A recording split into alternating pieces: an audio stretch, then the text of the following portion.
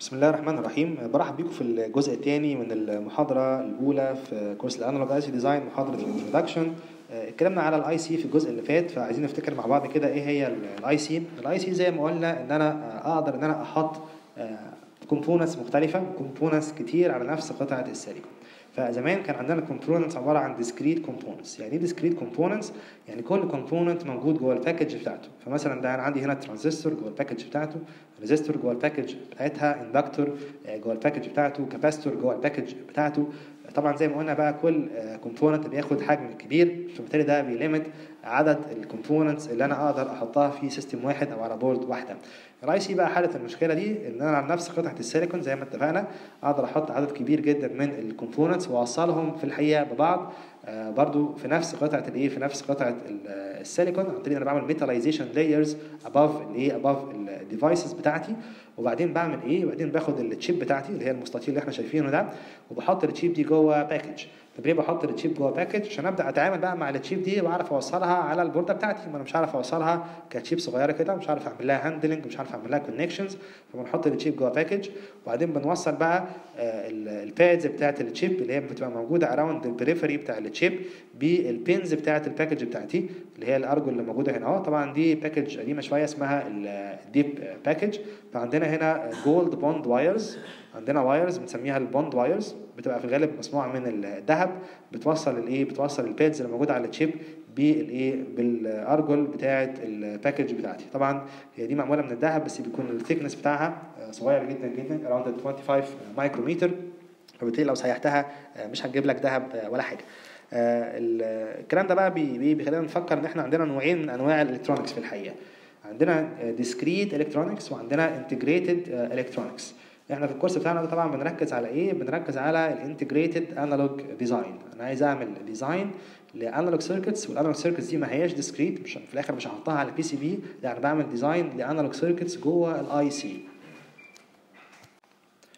طب هل ده معناه إن أنا إن أنا أعمل PCBs أو إن أنا أحط بقى components على بورده دي حاجة مش مهمة. طبعا لا دي حاجة مهمة جدا إن في الآخر ال IC دي ملهاش قيمة غير لو اتحطت في system وال system ده في الآخر لازم يكون موجود على إيه؟ لازم يكون موجود على بورده.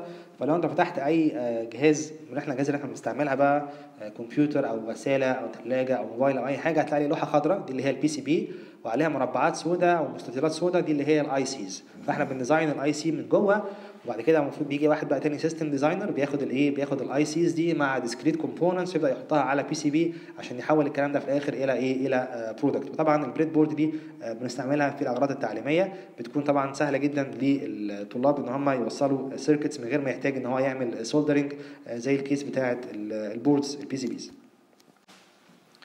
طب إيه اللي أنا ممكن أحطه على ال integrated circuit إيه ال components اللي أنا ممكن أحطها؟ أهم حاجة طبعا هي ال transistors. زي ما قلنا دلوقتي نقدر نحط billions of transistors على نفس ال chip فلو أنت قسمت في الحقيقة ال cost بتاعت ال chip على ال number of transistors هتلاقي إن ال cost بتاعت الترانزستور almost zero يعني لو افترضت إن ال chip بتاعتك ب 10 دولار وأنا عندي بليون ترانزستور اقسم بقى 10 على بليون تشوف كل ترانزستور مكلفك كام سنت طبعا حاجة يعني تؤول إلى الصفر فبالتالي بنقول إن ال transistors cheap يعني حط transistors زي ما أنت عايز. يعني مفيش مشكلة ال design بتاعك فيه واحد أو اثنين أو ثلاثة أو أربعة transistors إلا طبعا لو أنت عندك بقى cell هتبدأ تكررها ملايين المرات أو بلايين المرات. ساعتها ال number of transistors ممكن يفرق معاك زي في ال memories مثلا. بنحاول إن أنا minimize ال size بتاع ال memory cell عشان بكرر نفس ال cell دي ملايين المرات. لما كانوا بيعملوا بقى integration لل transistors مروا بكذا مرحلة. الأول كانوا بيسموه small scale integration بعد كده medium scale integration وبعد كده large scale integration لما وصلوا إن هم بيعرفوا يحطوا 10000 ترانزستور على نفس قطعة السيليكون سموه very large scale integration VLSI وفي الحقيقة الاسم ده فضل مكمل معانا لحد دلوقتي يعني حتى بعد ما عدينا البليون لسه برضو بنسميها VLSI في بعض الناس بيسميها ULSI ultra large scale integration ولكن يعني ال more common إحنا بنسميها VLSI زي نفس ال case من ساعة ال 10000 transistors بحط إيه كمان؟ أقدر أحط capacitors لكن أنا عندي مشكلة في الحقيقة في في ال capacitors وفي ال resistors أنا بقدر أحط capacitors و resistors و inductors اللي هم بنسميهم بقى على بعض كده بنسميهم passive elements passive elements الترانزستور ده بنسميه active element ليه؟ إن هو ممكن يزود power على ال signal بتاعتي. بيعمل عملية amplification يعني. ال passive elements لا ما بتعملش الايه؟ ما بتعملش العملية دي.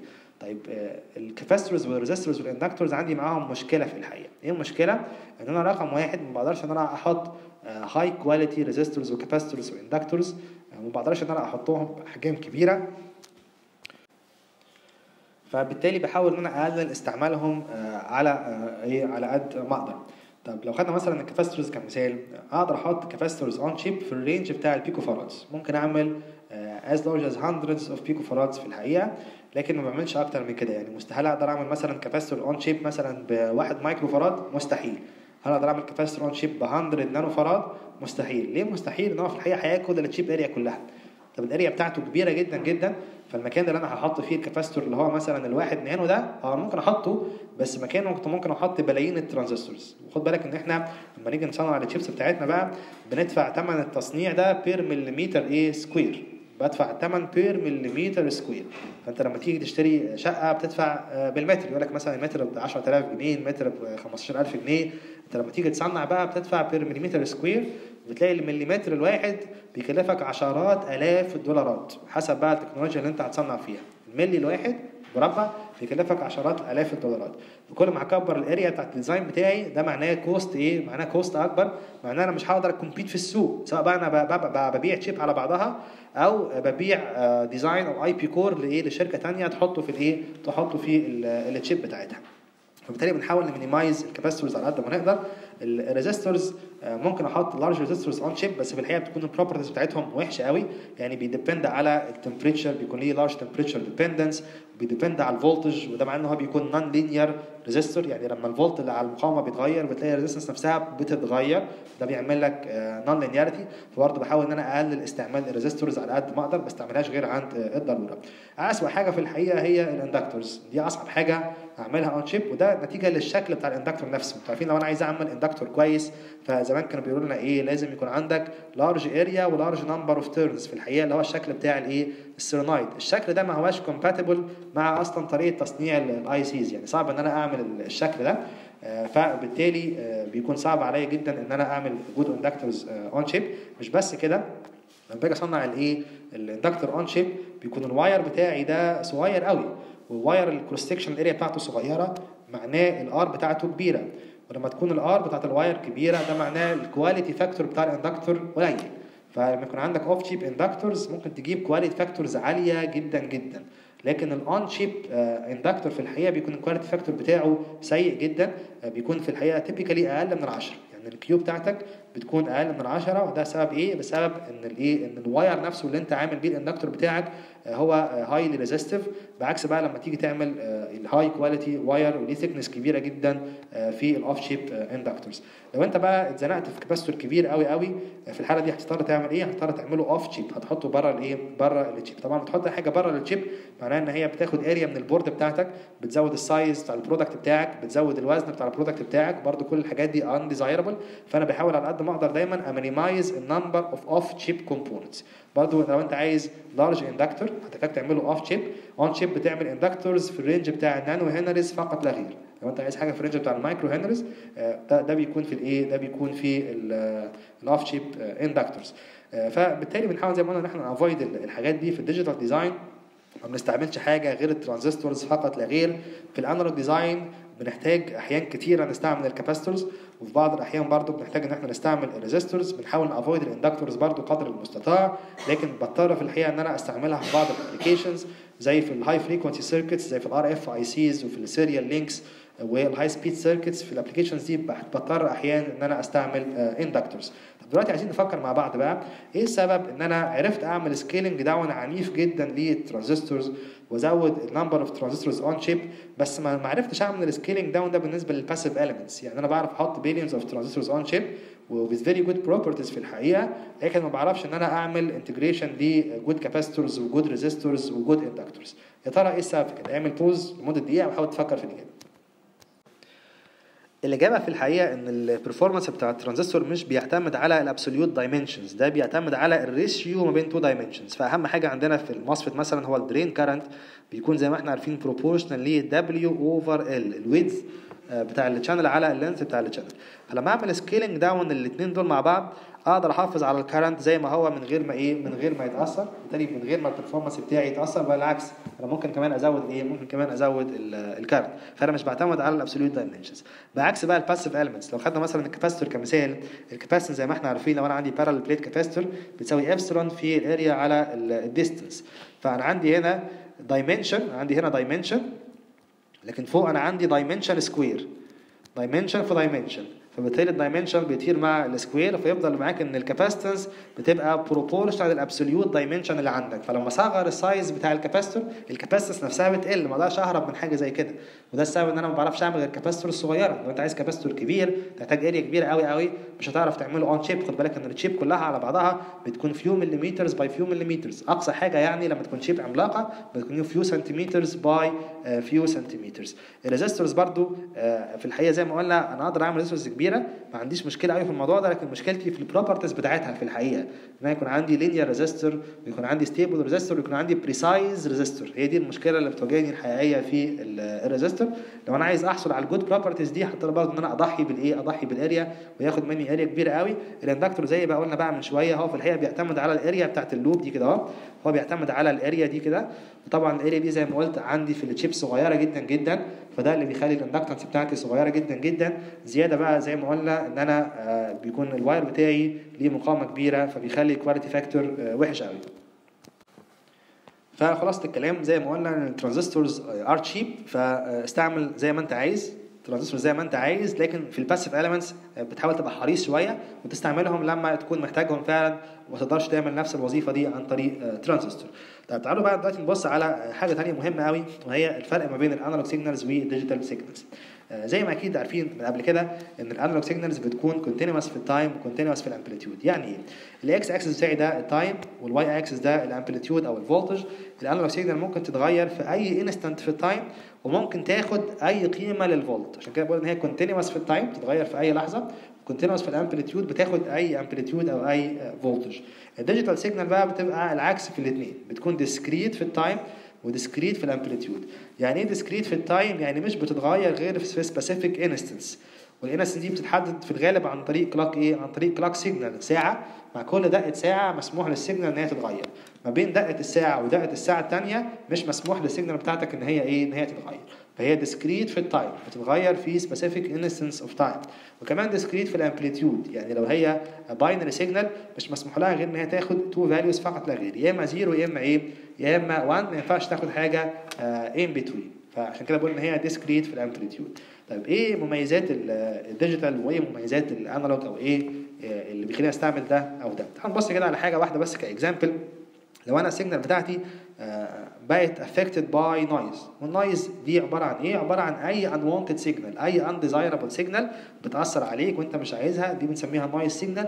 بغض النظر ال noise دي جاية منين. إحنا إن شاء الله هناخد ال noise مع بعض في ال course بتاعنا ده بالتفصيل. لكن بغض النظر إيه ال source بتاع ال noise لو أنت عندك undesirable signal فدي بنسميها noise signal. ولما تكون مثلا بتتكلم في التليفون وتسمع وش في الصوت دي عبارة عن إيه؟ ده عبارة عن noise signal أو تكون تتفرج على فيديو الفيديو بيحصل فيه برضه نغمشة ده برضه عبارة عن إيه؟ عبارة عن noise signal المهم لو ال analog signal بتاعتي دي جه عليها noise هل هعرف أفرق ما بين ال signal الأصلية وما بين ال noise لا خلاص هما الاثنين اختلطوا ببعض مش عارف أفرق دي عن دي وهيبقى صعب إن لم يكن مستحيل إن أنا أرجع ا restore ال signal الأصلية تاني. صعب قوي إن أنا أرجع ا restore ال signal بتاعتي قبل ما تكون affected بال noise طب بالنسبة لل digital لو ال digital signal بتاعتي جه اتاثرت ب noise هل أقدر إن أنا ا reject ال noise دي و restore ال signal الأصلية تاني؟ آه في الحقيقة ممكن. طب هعمل الكلام ده إزاي؟ ممكن آجي أحط هنا threshold كده وأقول لو أنا أقل من ال threshold دي يبقى أنا كده هعتبر إن أنا معايا zero لو أنا أعلى من ال threshold هعتبر إن أنا معايا 1 فبالتالي إن أنا كل ال noise دي مش هتفرق معايا.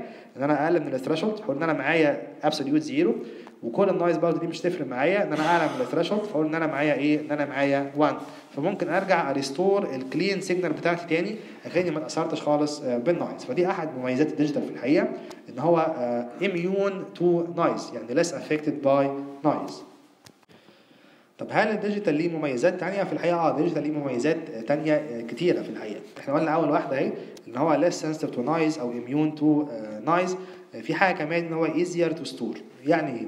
يعني سهل جدا إن أنا أعمل digital memories لكن صعب جدا إن أنا أعمل analog memories لو عايز تحس بالموضوع ده حاول تفتكر الايه شريط الفيديو بتاع زمان. كان في زمان جهاز اسمه جهاز الفيديو. طبعا كان إيه كان breakthrough آه لما طلع لازم تكون شغال في الخليج آه أو في أمريكا عشان تعرف تجيب جهاز فيديو. وبعدين لما تجيب الجهاز ده شريط الفيديو عبارة عن حاجة bulky كده.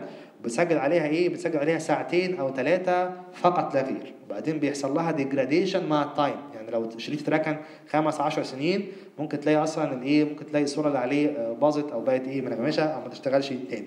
طب تعالى بقى نقارن الكلام ده لو أنت عندك USB stick حجمها قد عقلة الصباع وفيها 256 جيجا. ممكن تخزن عليها آلاف ساعات الفيديو. في حجم صغير جدا جدا. وتعيش معاك سنين طويلة جدا جدا بطريقة سهلة جدا جدا جدا. فده يوريك قد إيه إن ال digital memories سهلة قوي. بالعكس بقى ال analog memories صعب قوي. فدي مميزات ال digital سهل إن أنا اعمل له storage عن طريق ال digital memories سهل كمان إن أنا اعمل له processing يعني إيه؟ يعني عن طريق ال DSPs وعن طريق ال microprocessors وعن طريق ال FPGAs سهل إن أنا أعمل أي نوع من أنواع ال processing باستعمال الايه؟ باستعمال ال digital circuitry يعني إيه processing يعني مثلا لو أنا عايز أعمل فلتر مثلا ياخد الايه؟ ياخد ال signal في frequency range معين. لو أنا عندي signal في frequency range معين وعايز إن أنا أحط filter ي select الايه؟ ي select ال signal ده, ده كده نوع من أنواع الايه؟ نوع من أنواع ال processing لو عندي مثلا noise مع ال signal وعايز أعمل DSP technique يعمل noise cancellation ده برضه نوع من أنواع ال processing سهل إن أنا أعمل الكلام ده قوي في ال digital ليه؟ لأن أنا بعمله at higher level of abstraction في الحقيقة. يعني بجيب واحد يكتب code ال code ده ممكن يكون code C أو code HDL وبعدين أحول الكلام ده ل circuit اوتوماتيكيا أو أبرمج بيها microprocessor أو أبرمج بيها DSP with minimum effort الكلام ده في ال analog صعب جدا. أنا لازم أجيب expert analog designer ويقعد يعمل design لفترة طويلة جدا شهور وممكن تكون سنين عشان أعمل إيه؟ عشان أعمل ال design اللي أنا عايزه. طبعا صعب جدا إن أنا أعمل analog processing محتاج expert designer ومحتاج وقت طويل قوي إيه كمان مميزات ال digital؟ آه ان أنا أقدر اعمل automation لل digital design زي ما قلت أنا بعمل ال design بتاعي في الحقيقة at higher level of abstraction code في الحقيقة. digital design بيتعمل coding و scripting انت بتكتب الكود بتاعك زي ما قلنا باستخدام ال C أو باستخدام ال HDL بعد كده بتستعمل بقى specialized EDA tools electronic design automation tools أو CAD tools computer aided design tools تحول الكلام ده إلى transistors أو تحول الكلام ده إلى program أقدر أبرمج بيه programmable chip زي ال FPGA وزي ال DSPs مش بس كمان ال digital ممكن أعمل automation لل design لا كمان ممكن أعمل automation لل testing خد بالك العنصر البشري في الحقيقة هو أغلى حاجة في ال design process الإنسان اللي هو ال qualified واللي عنده experience ده أكتر حاجة مكلفة في الإيه؟ في ال design process فإن أنا أعمل automation لل design وال testing ده معناه إن أنا بوفر في الإيه؟ بوفر في ال salaries بتاعت الناس اللي هتقعد وتعمل ال design فبالتالي ده بيترجم إيه بيترجم إن أنا أقدر أعمل products في وقت أقل وب cost أقل فأقدر acompete في الإيه؟ في ال market وآخد market share وآخد market share أكبر. آخر حاجة إن ال digital هو في الحقيقة اللي بيستفيد من Moore's law ممكن تحس بالكلام ده بقى في ال memories مثلا إن كل ما بصغر الترانزستور زي ما قلنا كل ما أقدر أحط عدد أكبر من ال transistors فخلي ال memory بتاعتي أكبر. بدل ما ال USB stick كانت 1 جيجا بعد كده بقت 2 بعد كده بقت 4 و8 و16 و32 256 كل ده معناه إيه؟ عندي memory أكبر في نفس الإيه؟ في نفس المساحة الصغيرة. فال digital بيستفيد من ال down scale العكس بقى ال analog مش بيستفيد من down scale بل العكس ساعات كتيرة down scaling بيضر ال analog إيه؟ بيضر ال analog design بيخلي ال analog design more difficult و more challenging وإحنا أصلا في ال analog design مش بنحتاج uh, عدد كبير من ال transistors. معظم ال circuits بتاعتنا بيكون فيها يعني very small number of إيه؟ very small number of transistors كل الأسباب دي ومش بس على فكرة موضوع ال number of transistors أنا كل ما بصغر الترانزستور بالنسبة لل digital بيكون أسرع وبيستهلك power consumption أقل. فال digital بيستفيد من عملية ال down scaling تقريبا from every aspect طبعا باستثناء ال cost of fabrication طبعا كل الاسباب دي بقى خلت الايه خلت ال industry كلها تروح ناحية ال digital design أنا عايز كل ال products بتاعتي تبقى as digital as possible. عايز أخلي كل حاجة digital وأحاول أقلل أقلل كل ال analog إيه كل ال analog components في ال system بتاعي. طيب هل ده معناه إن 100% of electronics هيتحول إلى digital هل أقدر إن أنا أتخلص من كل ال analog circuitry اللي عندي؟ أعمل كده pause وحاول تفكر في الإجابة.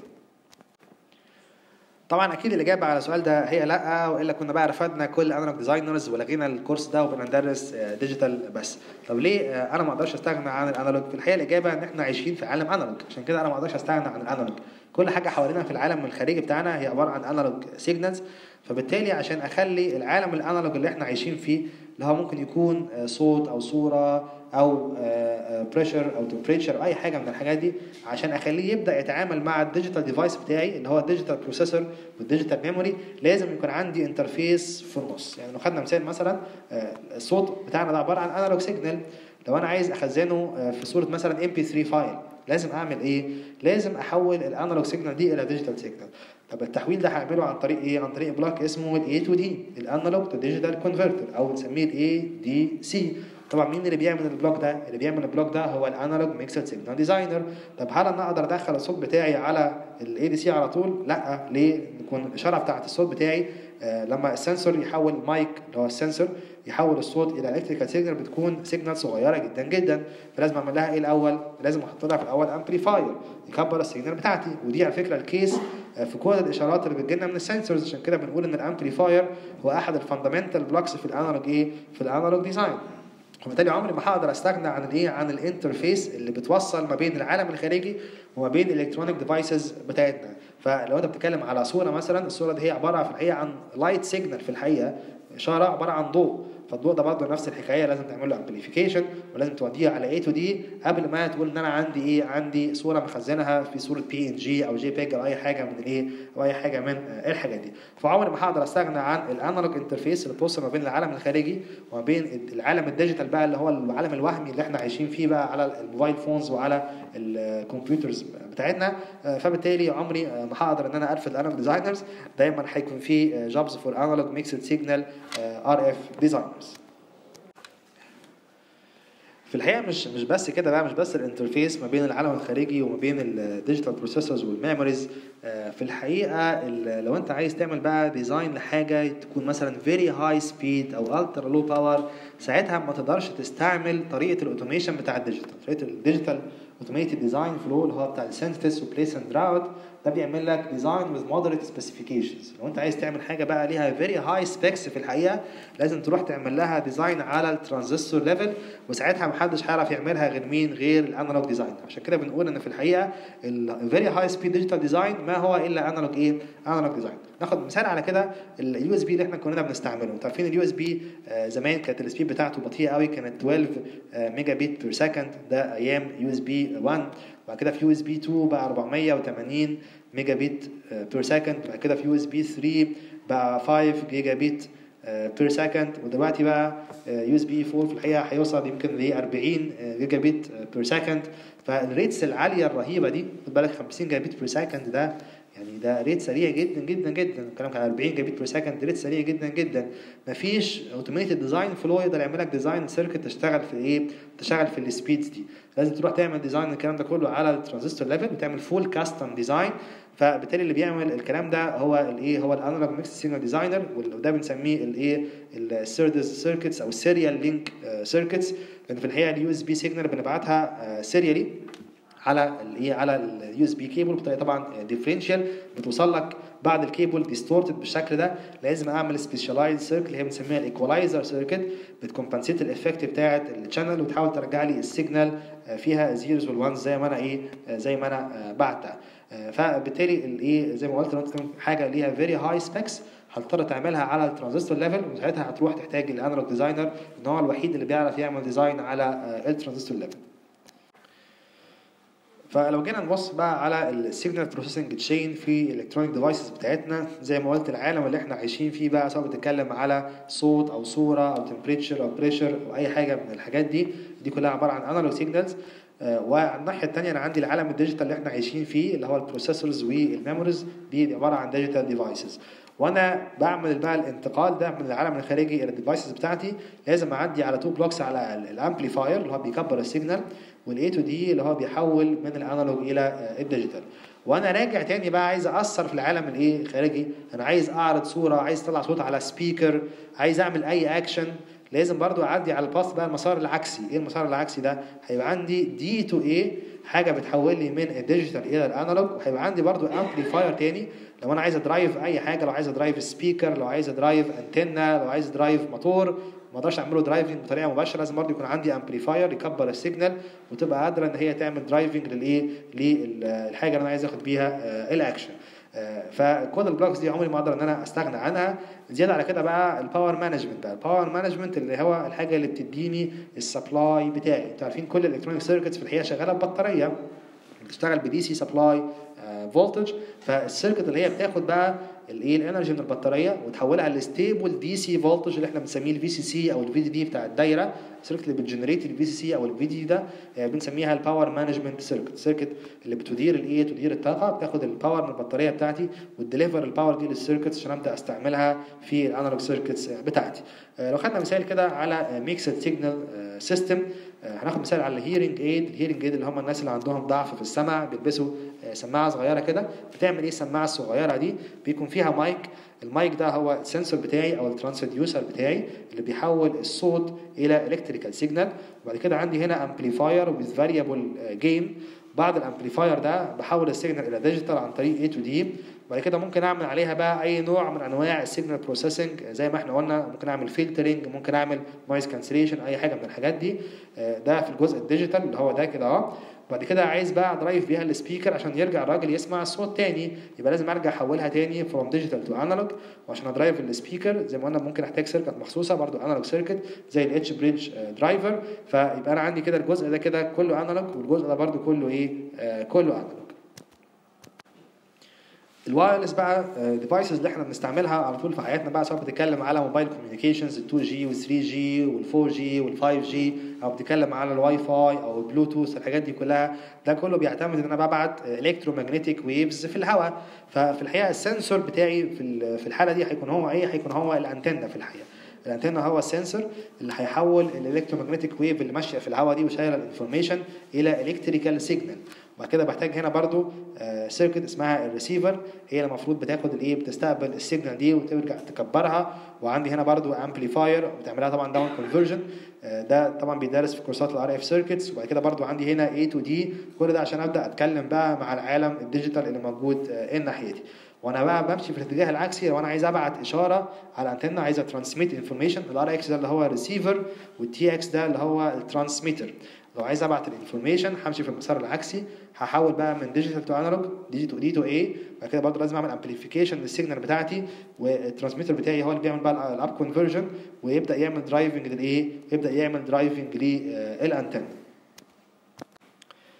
بكده عرفنا إن أنا ما أقدرش أستغنى ابدا عن ال analog أو ال mixed signal design أو ال RF design دايما هحتاج الايه ال full custom designers دول. طب نسأل بقى السؤال الثاني إحنا عرفنا why analog عايزين نعرف why CMOS طب ليه هنستعمل ال CMOS ليه ما نستعملش ال BJTs هل ال MOSFET أحسن من ال BJT الحقيقة في common misconception إن ال MOSFET أحسن من ال BJT والكلام ده آه، غير صحيح على الإطلاق بالنسبة لل analog design طب يعني إيه؟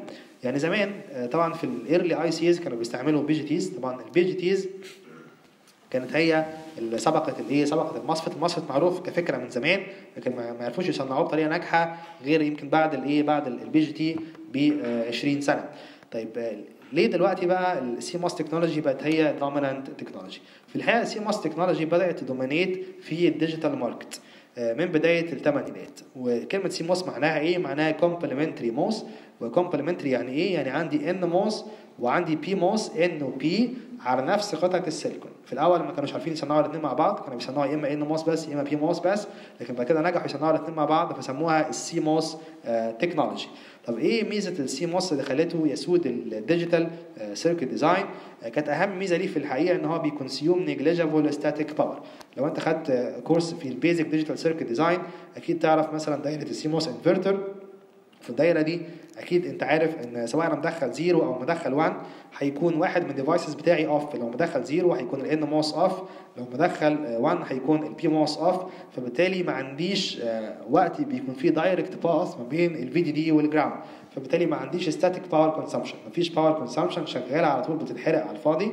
ودي كانت مشكلة في الحقيقة موجودة في ال circuits في ال digital circuits قبل ال CMOS technology فلما ال CMOS technology حل المشكلة دي حل مشكلة ال static power consumption بقى هو ال dominant technology for digital design طبعا دلوقتي ال static power ما بقتش negligible زي زمان نتيجة للليكج مع ال scaling down ال leakage بدأ يزيد وبقى significant ولكن مفيش أي آه، حل تاني أحسن من ال CMOS technology ومفيش أي technology تانية قدرت ان هي ت replace الايه ت replace ال CMOS technology زيادة على كده بقى في ال CMOS technology عدد ال devices اللي أنا بحتاجهم عشان implement logic gate معينة آه، بيكون أقل.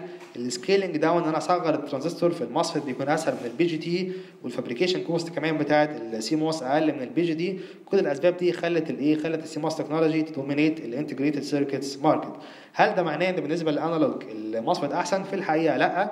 ال BJTs أحسن بكتير من ال MOSFET في ال analog design. طب أحسن في إيه؟ عشان في الحقيقة المشكلة اللي إحنا قلناها دي مش بتهم ال analog designer في حاجة خالص. ال analog designer بيهتم بحاجات تانية. بيهتم بإن هو عايز device يكون سريع يكون less noisy يكون فيه less variations يكون ليه more energy efficiency يكون ليه more gain. وفي كل الحاجات دي في الحقيقة ال BJT أحسن من ال MOSFET ففي الحقيقة ال BJT ك device أحسن for analog design من ال MOSFET طب ده يخلينا بقى نسأل أمال ليه في الكورس بتاعنا هنتكلم على ال analog CMOS فقط لا غير؟ اعمل كده pause وحاول تفكر في الإجابة.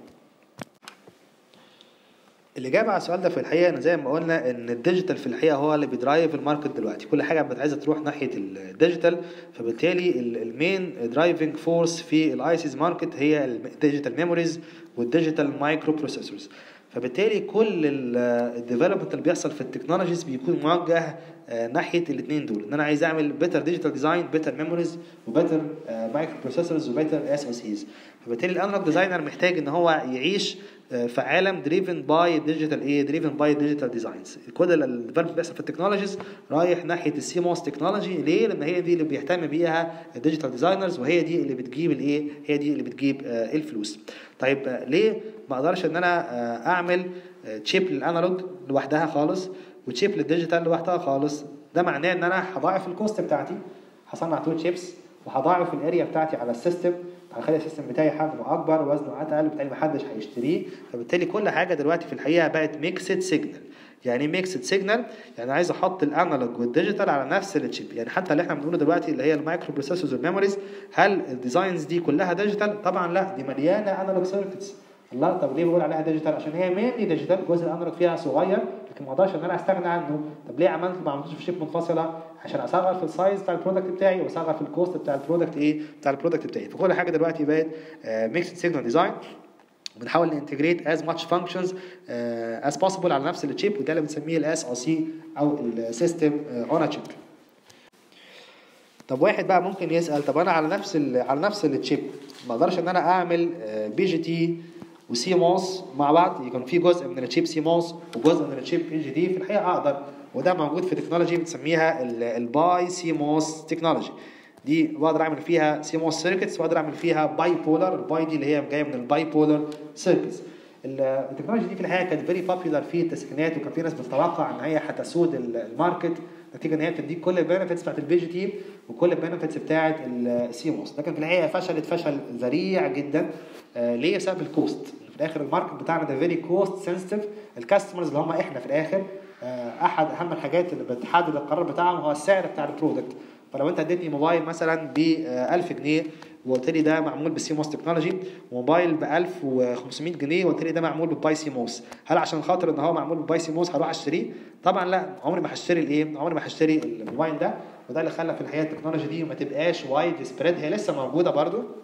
بتستعمل في بعض ال specialized applications اللي ما بتكونش cost sensitive خد بالك بعض ال applications مش بنهتم بيها قوي بال cost بتاعت ال chip زي في ال medical applications وال military applications وال aerospace لكن في الحاجات اللي هي ال consumer بيكون ال cost هي أحد أهم ال factors اللي بتحدد ال market share بتاعك. فبالتالي بقى ده خلى كل الايه كل ال IC design سواء بقى analog أو digital يروح ناحية الايه يروح ناحية ال CMOS technology فقط لا غير وال BJT بقى نادرا ما بيستعمل. غير بقى لو انت بتعمل chip كلها على بعضها analog زي مثلا انت بتعمل op-amp chip أو بتعمل مثلا RF chip صغيرة كده فيها analog analog functions فقط لا غير ساعتها ممكن تروح تستعمل BJT technology لكن لو انت بتعمل chip كبيرة أو system معقد لازم طبعا تستعمل ال CMOS technology بالإضافة لكده بقى إحنا كنا بنقول إن ال BJT أسرع بكتير من ال MOSFET والكلام ده كان valid في الحقيقة كل السنوات اللي فاتت لكن مع ال scaling العنيف اللي حصل في ال MOSFET إن أنا عمال أصغر في ال dimensions بتاعته. كل ما بصغر فيه بيبقى أسرع فده خلى ال MOSFET ينافس إن لم يكن بقى أسرع من الإيه؟ بقى أسرع من ال BJT. فما بقاش عندي ال advantage اللي كانت موجودة في ال BJT زمان إن هو كان بيستعمل في ال very high speed أو ال RF circuits دلوقتي لا ال MOSFET بقى هو كمان سريع قوي قوي أقدر أستعمله في ال very high speed وأقدر أستعمله في ال RF circuits في ميزة كمان مهمة جدا لل MOSFET إن هو أقدر أستعمله مع ال low supply voltage وإحنا في ال technologies بتاعتنا قللنا جدا ال supply voltage زمان كان ال supply voltage يمكن 12 فولت. دلوقتي قللناه بقينا أصغر من 1 فولت. لسببين مهمين جدا أول سبب إن أنا مع ال scaling down بقى عندي dimensions صغيرة قوي. وإحنا عارفين ال electric field عبارة عن إيه؟ عبارة عن الفولت على ال distance فلما أنا أصغر ال distance قوي لو أنا ما عملتش scaling down لل voltage هيبقى عندي electric field كبير قوي هيحرق ال device بتاعي هيحصل breakdown لل devices بتاعتي. فبالتالي اضطريت إن أنا أعمل scaling down لل voltage بتاعي.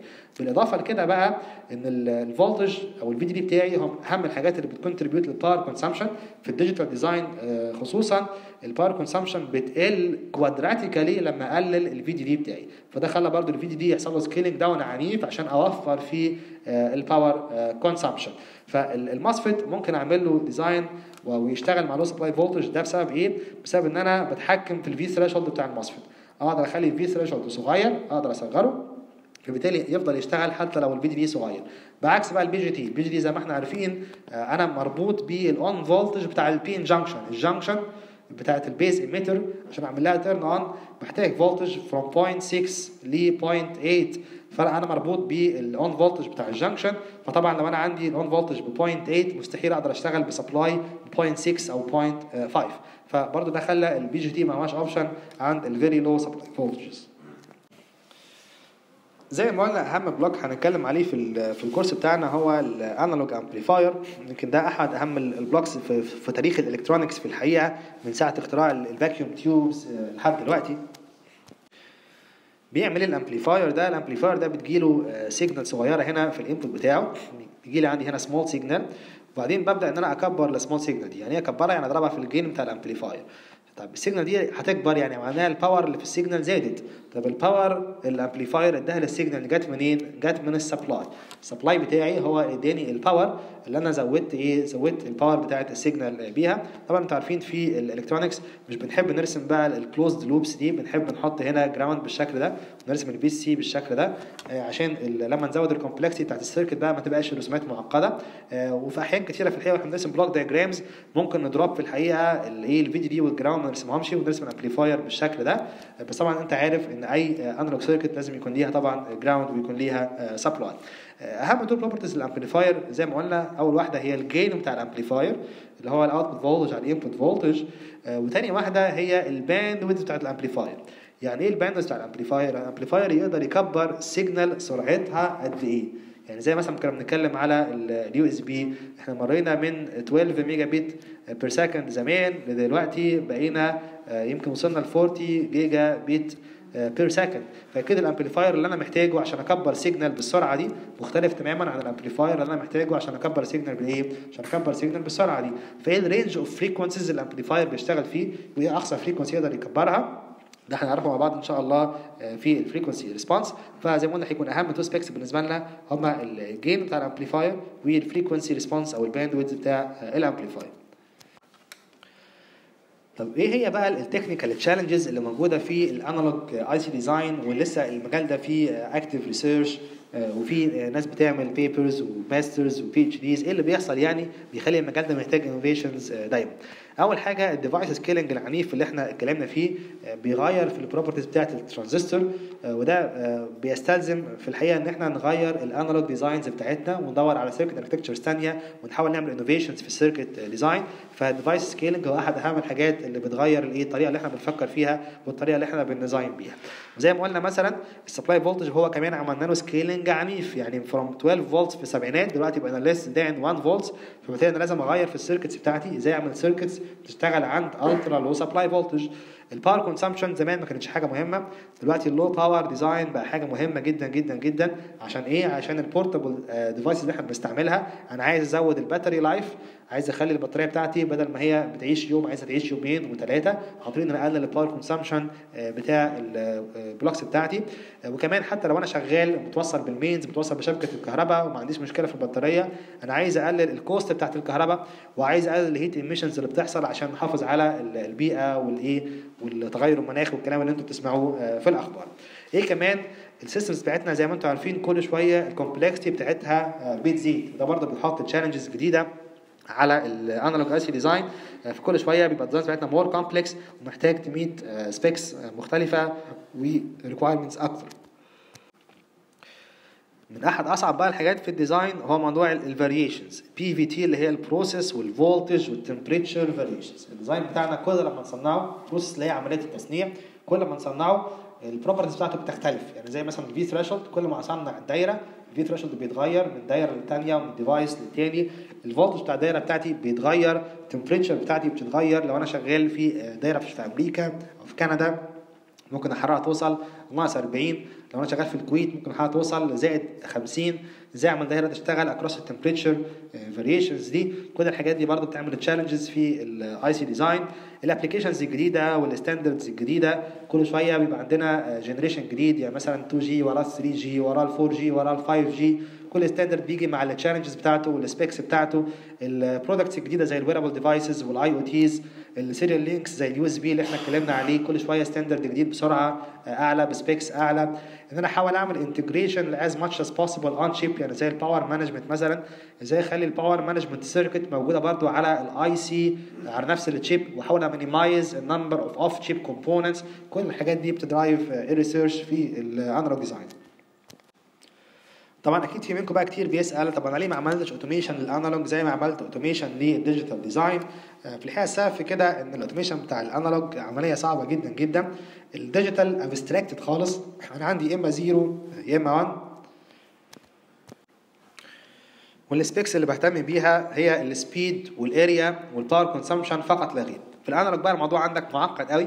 عندك كمية كبيرة جدا من ال specs عندك نويز ولينياريتي وجين وسبلاي فولتج وفولتج سوينج وسبيد وامبيدنسز وباور ومشكلة إن كل ال specs دي inter-related يعني تيجي تصلح مثلا ال noise تلاقي ال voltage swing باظ تيجي تصلح ال gain تلاقي ال impedance باظت تيجي تصلح ال linearity تلاقي ال speed باظت. فصعب جدا إن نعمل automation حاجة زي كده. لسه محتاجين ال intellectual power بتاعت الايه ال human designer وال expert designer هو اللي يخش يحاول بقى يفض الاشتباك ما بين الايه ما بين ال trade-offs المختلفة ويحاول يدور على ال optimum design point اللي بي meet ال specs اللي هو عايزها. ففي الحقيقة في research effort يعني يمكن بقاله 30 سنة في مجال ال analog design automation لكن لسه ما قدرش يوصل ل product يلبي ال needs بتاعت ال industry يمكن الموضوع ده لسه فيه active research ممكن يمكن خلال مثلا 20 أو 30 أو 40 سنة نوصل ل analog design automation لكن حتى الآن مفيش حل واضح في المستقبل القريب. طب إيه الخطوات اللي بيمر بيها بقى ال analog designer في ال design بتاعه؟ أول حاجة أنت ك designer بيجي لك specs معينة من ال system designer الراجل اللي عمل ال system سواء بقى عمل له simulation behavioral أو على MATLAB على Simulink بيحط specs على كل block بعد كده بيديك ال specs دي يقول لك أنا عايز block بيحقق المواصفات الفلانية يقول لك مثلا عايز op amp بيحقق ال specs الفلانية عايز comparator يحقق ال specs الفلانية أي حاجة من الحاجات دي. تعمل أنت إيه؟ تبدأ تدور على أنسب topology لل specs بتاعتك. تعمل مرحلة اسمها مرحلة ال topology selection يعني إيه؟ يعني أنت عارف مثلا الأوب amp في commonly مثلا 10 20 topology الناس بتستعملهم. بتشوف إيه أنسب topology لل specs اللي given بالنسبة لك. طب افرض أنا ما لقيتش ولا topology بت satisfy ال specs بتاعتي ساعتها هتضطر إنك تدور تعمل topology جديدة. ودي حاجة نادرة في الحقيقة. يعني في معظم الأحيان آه ولو أنت بتشتغل في ال industry بتجيب topology موجودة فعلا وتحاول إن أنت تعمل بقى design ال topology دي.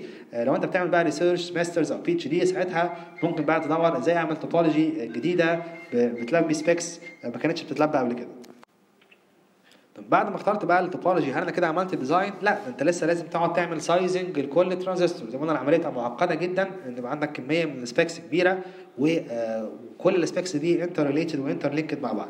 فالمفروض بتعمل الأول hand calculations و hand analysis باستعمال simple models عشان تبدأ تجيب initial design point خطوة كده مبدئية في عملية ال design تبدأ تعمل rough sizing لل transistors بتاعتك وتعمل design ال circuit بتاعتك بطريقة approximate بعد كده تروح تعمل إيه؟ تروح ترسم الدايرة على simulator وتبدأ تعمل لها simulation وتعمل بقى adjustments للدايرة آه، عن طريق ال simulator لحد لما توصل لل specs اللي أنت عايزها بالظبط. خلصت المرحلة دي اللي هي مرحلة ال circuit design بتنتقل إلى مرحلة ال physical design يعني إيه physical design يعني بحول الدايرة بتاعتي دي إلى layout إلى حاجة رسمة أقدر إن أنا أبعتها للمصنع عشان آه، يصنعها. بعد لما ارسم ال layout اللي هي الرسمة التنفيذية بتاعت الدايرة بتاعتي يعني زي كده بتوع العمارة بيعملوا الأول design المبنى بعد كده بيعمل رسومات تنفيذية بقى عشان ياخدها في الموقع وينفذ الايه؟ وينفذ المبنى ده. نفس الحكاية برضو ال layout هي الرسومات التنفيذية اللي انت هتبعتها للمصنع. بس قبل ما تبعتها لازم تعمل post layout simulation يعني إيه؟ يعني ال layout دي في الحقيقة ممكن تغير في ال performance بتاع الدايرة. هي لازم اعمل extraction للدايرة تاني. بعد ما عملت لها ال layout وارجع simulate الدايرة تاني بعد الايه؟ بعد آه، ال layout أتأكد إن ال specs بتاعتي كلها لسه بتتحقق. لو الكلام ده كله لسه بيتحقق أروح أبعتها بقى للمصنع عشان يحصل لها fabrication بعد كده يحصل لها packaging بعد كده ترجع لي تاني أعمل لها ال testing لو عملت لها testing في المعمل ولقيتها بتشتغل يبقى أنا كده خلاص جاهز إن أنا أبيع ال product آه، بتاعي. آه، لو ما اشتغلتش طبعا يبقى أنت في مشكلة آه، كبيرة. لازم ترجع تاني بقى وتروح لل simulator بتاعك وتشوف هي الدايرة ما اشتغلتش ليه وتحاول تصلح الايه المشاكل اللي حصلت وتعيد تاني ال cycle دي. طبعا ال cycle دي cycle بطيئة جدا ومكلفة جدا جدا. عملية إنك تبعت الدايرة عشان تتصنع بنسميها عملية ال- ال tape out. طبعا بتلاقي لما يكون designer عنده tape out تلاقيه مشغول جدا جدا وسهران في الشغل بقى لحد بالليل وبيطبق مش فاضي يكلم حد. آه، زي ما قلنا العملية بتبقى بطيئة جدا ومكلفة جدا آه، زي ما هنشوف في ال slide الجاي. لما يخلص ال layout بيبعت ال file بتاعه في format بنسميها ال GDS 2 زمان كانوا بيحطوا ال layout دي بيسجلوها على magnetic tape ويحط ال tape ده في في ظرف ويبعته بالبريد. بيبعت ال design بتاعه بالبريد. عشان كده كانوا بيسموا العملية دي tape out ان انت تبعت الايه؟ تبعت ال tape اللي انت سجلت عليه الايه؟ design زي شريط الكاسيت كده. تعمل حاجة زي شريط الكاسيت وتبعت عليها آه ال design طبعا دلوقتي مفيش حاجة اسمها كده. ال design بتبعته لو هو design صغير ممكن تبعته بالإيميل. لو هو كبير ممكن تحمله على FTP server لكن لسه آه بنقول برضو على ال process دي عملية ال tape out المصنع بيصنع ال design بتاعك على ويفر زي اللي إحنا شايفينها هنا. حجمها كده عامل زي البيتزا فيها برضو small و medium و large 4 انش و6 انش و8 انش wafers بعد كده ال wafers دي بيبدأ إن هو يقطعها عن طريق diamond saw لمربعات صغيرة. المربعات اللي هي بنسميها ال dice أهو دي كده اسمها die أو اسمها chip زي ما قلنا بيكون ال dimensions بتاعتها common دي كده few millimeters by few millimeters أو أقصى حاجة few centimeters أو few centimeters مشكلة العملية دي بقى زي ما هي عملية بطيئة جدا. يعني المصنع عشان يصنع الدايرة بتاعتك بياخد له من شهرين لثلاث شهور. آه، وطبعا زي ما قلت مكلفة جدا جدا. طب بنحل مشكلة التكلفة الرهيبة دي إزاي؟ عن طريق حاجة اسمها ال MPW يعني إيه MPW يعني multi project wafer يعني إيه multi project wafer يعني إحنا عايزين نشتري بيتزاية بس البيتزاية دي غالية علينا فهنعمل إيه؟ هنشتري بيتزاية مع بعض وبعد كده نقسمها بس لو أنت كلمت محل بيتزا وقلت له أنا عايز أجيب آه، بيتزاية كبيرة بس هبعت جزء منها مدينة نصر وجزء منها المهندسين وجزء منها التجمع أكيد طبعا مش هيقدر إن هو إيه؟ يعمل لك حاجة زي كده. فبالتالي لازم تروح على منظمة وسيطة هي اللي تجمع ال designs من الناس يعني هي اللي تستقبل البيتزا بعد كده تبدأ إن هي تبعت بقى إيه جزء منها مدينة نصر وجزء منها المهندسين وجزء منها التجمع. المنظمات دي في منها واحدة في أمريكا اسمها MOSIS وفي واحدة في أوروبا اسمها Europractice دي بتخدم منطقة أوروبا وشمال أفريقيا ال MENA اللي هو ال Middle East and North Africa اللي طبعا إحنا جزء منها فإحنا ممكن نتعامل مع Europractice Europractice بتجمع designs من الشركات الصغيرة من الجامعات بعد تروح تتعامل بقى مع المصنع على إن هي زبون إيه؟ على إن هي زبون واحد. تبعت ال designs للمصنع المصنع يصنعها يبعتها ل Europractice تاني وبعد كده Europractice ترجع توزعها علينا. طب ليه بتعمل حاجة زي كده؟ عشان هي دي الطريقة الوحيدة اللي بيقدروا إن هم يساعدوا بيها الشركات الصغيرة عشان تكبر ويساعدوا بيها ال research اللي بيحصل في الجامعات عشان برضه ال research ده هو اللي بيعمل startups في الآخر وهو برضه اللي بيساهم في إن الإيه؟ الصناعه تكبر وال economy يكبر. فهم بيعملوا الكلام ده في الآخر عشان ينموا الاقتصاد بتاعهم. فطبعا بقى عشان يحاولوا يرتبوا الموضوع ده بيكون كل technology ليها ميعاد معين للتصنيع بتاعها وكل مصنع ليه ميعاد معين للتصنيع بتاعه. يعني زي مثال مثلا بتاع البيتزا اللي إحنا قلناه. انت هتطلب بيتزايه واحدة هتبقى كلها بالفراخ. تطلب بيتزايه تانية تبقى كلها خضار. مثلا يوم الايه يوم الاثنين هطلب بيتزا فراخ يوم الثلاث بيتزا خضار وهكذا. نفس الحكاية برضو. هم بيتفقوا مع المصانع. يعني لو خدنا مثلا مثال في مصنع اسمه GlobalFoundries دي أحد المصانع اللي يورو بتتعامل معاها. ممكن تبص على الجدول مثلا بتاعهم على ال link ده. فبيحط لك جدول زي اللي إحنا شايفينه ده. يقول لك لو انت عايز تصنع مثلا في تكنولوجيا 130 نانو دي التواريخ المتاحة. لو انت عايز تصنع في 40 نانو دي التواريخ المتاحة وهكذا. طبعا لو فاتك الميعاد هتضطر تستنى ال cycle اللي بعدها. ممكن تستنى لمدة شهرين أو أكتر من إيه من شهرين عشان تلقط التاريخ اللي إيه تلقط التاريخ اللي بعده. وبرضه زي ما قلنا لو عندك بقى مشكلة في ال design معناها إيه؟ معناها إنك هتعيد ال cycle دي كلها تاني وتدفع الفلوس بتاعت التصنيع كلها تاني. طبعا الموضوع مختلف تماما عن ال software design ال software لو أنت عندك bug هتصلح ال bug وت upload ال version الجديدة في نفس اليوم وخلص الموضوع. ال IC design لو أنت عندك bug هتضطر تستنى شهور وتدفع عشرات آلاف أو ملايين أو مئات آلاف الدولارات. وزي ما قلنا بقى السعر بتاعك بتدفعه بالمليمتر المربع. فعندنا أهو examples برضه different technologies من GlobalFoundries طبعا دي أسعار Europractice كل ما ال feature size بتصغر يعني رايح ناحية advanced technology كل ما هتلاقي السعر عمال إيه؟ عمال يكبر معاك. فالتكنولوجي القديمة ب 1500 يورو per مليمتر التكنولوجي الجديدة ب 14000 يورو per مليمتر تخيل بقى لو أنا عايز أعمل chip 10 مللي في 10 مللي يعني سنتي في سنتي. خد بالك سنتي في سنتي معناها إيه؟ معناها 100 ملم مربع. 100 ملم مربع يعني خد الرقم ده واضربه في 100 طبعا شوف قد إيه ال cost هتبقى كبيرة. كل ده أصلا في الآخر عشان يديك إيه؟ عشان يديك 50 sample فقط لا غير. ده Europractice وانت عايز بقى تصنع مع المصنع يبقى كل ال run ليك أنت لوحدك تدفع طبعا مبلغ أكتر من كده بكتير.